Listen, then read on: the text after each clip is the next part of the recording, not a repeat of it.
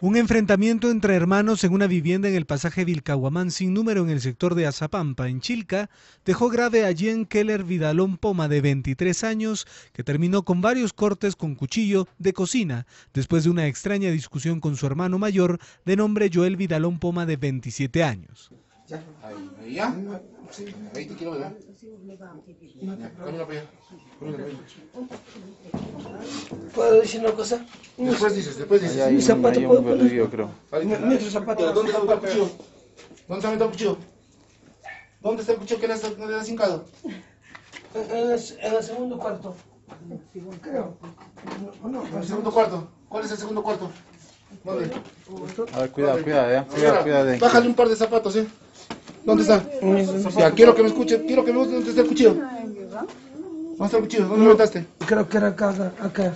El padre de ambos, Félix Vidalón, no se explicaba cómo fue que terminaron peleando entre ellos. Se sabe que son músicos y danzantes de tijera y se enfrescaron en una discusión luego de haber libado. Uno de ellos también recibió un golpe contundente con una piedra que le dejó una inflamación en el pómulo derecho. ¿cómo va a él? Porque está vendiendo esa bolsa de esa bolsa de. ¿Ahí está cuchillo? No, porque la aguantaba.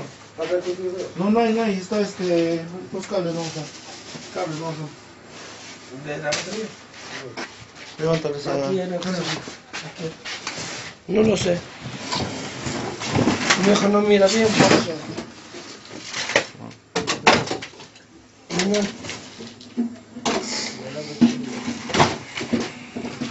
¿Dónde está el cuchillo? El zapato.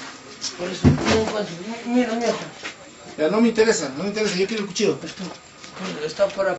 Tras la pelea, el hermano menor terminó con un corte a la altura del pecho que le produjo una abundante hemorragia y otro corte de unos 3 centímetros al lado izquierdo del abdomen que felizmente no produjo mayores consecuencias. Fue trasladado de emergencia por los serenos de Chilca. De este lado, de este lado.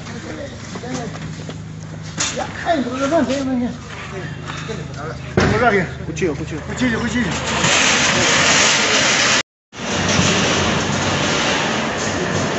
El serenazgo pudo capturar al hijo mayor quien trató vanamente de deshacerse del arma con el que atacó a su hermano y de inmediato como señalaba la norma del arresto ciudadano fue derivado a la comisaría para las investigaciones del caso.